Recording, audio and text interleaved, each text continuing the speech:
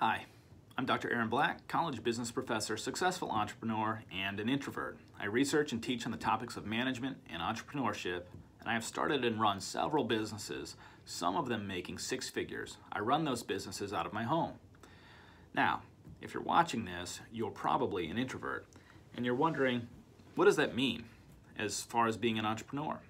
Well, I've got good news. Introverts make great entrepreneurs.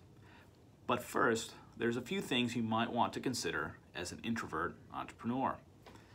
First, we should say that introversion is a personality trait, and while these traits are stable over time, they are malleable. Research indicates that traits are about 50% the result of genetics and about 50% the result of the environment.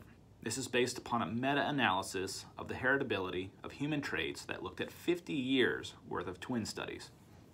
So personality traits are not chains, they're rubber bands.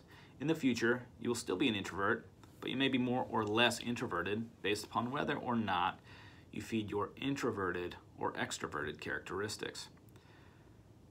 Now, we know that in general, introverts make less money than extroverts. We think that it's a combination of the fact that extroverts tend to attract more attention and are thus more likely to be promoted but also because introverts self-select out of higher paying roles which tend to require extroversion in favor of jobs which better match the sensibilities of introverts. So what does this have to do with entrepreneurship? Well, as an introvert, you're probably looking for a way to make more money. Starting your own business or having a side hustle seems to be an attractive option. The research on whether introverts or extroverts make better entrepreneurs is mixed. There's no consensus on this in the scientific community. Some studies suggest extroverts make better entrepreneurs because as an entrepreneur, you're a salesperson for your ideas. However, introverts tend to be more thoughtful and some studies suggest more creative. Introverts are also better with the solitude and aloneness that often comes with being a solo entrepreneur.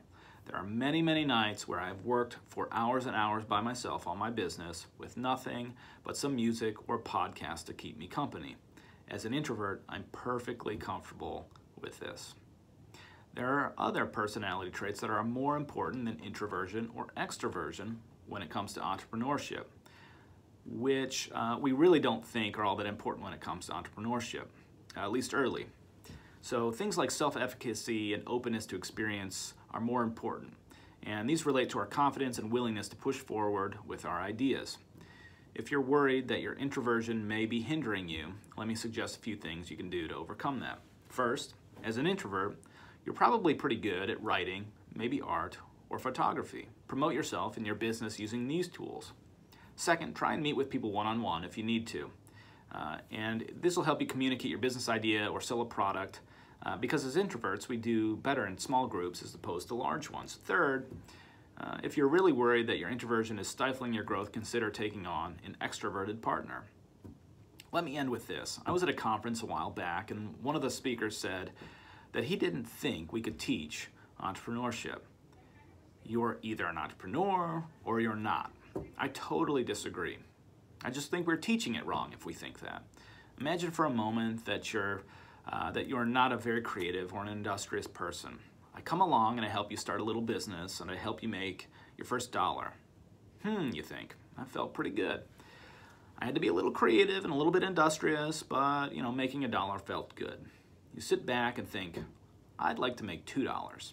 Maybe if I'm a little more creative and a little more industrious, I can make $2. So, you get a little more creative, a little bit more industrious, and you make $2. Hmm, hey, that was great. I wonder what it would feel like to make $10. I bet you if I was a bit more industrious, a little more creative, I could do that. Sure enough, you give it a go, and hey, $10. You decide $100 sounds good, then a 1000 then a 100,000. All of a sudden, this person who wasn't creative and not very industrious is one of the most creative and most industrious people you know. You see, your personality is not a hindrance, it's a tool that can be developed. Give the traits you want to develop positive feedback, and in entrepreneurship, that feedback is money, and you'll become the kind of person you need to be in order to be more successful. As a college professor, I think the best thing we can do when it comes to teaching entrepreneurship is to teach people how to make their first dollar. Once you've done that, to some degree, the rest starts taking care of itself.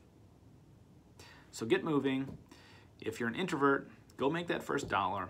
Don't worry about whether or not your introversion will stop you from being successful. It won't.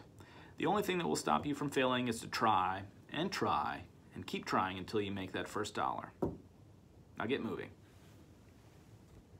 If you're interested in learning more about entrepreneurship or even getting coached, check out my course offerings at launchlabz.com. That's launchlabs with a Z.com.